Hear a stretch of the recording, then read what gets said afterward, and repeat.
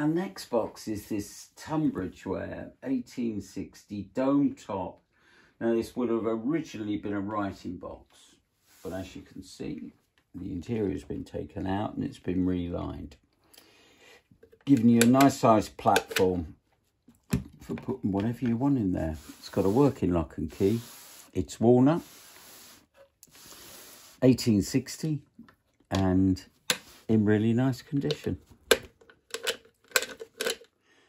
There we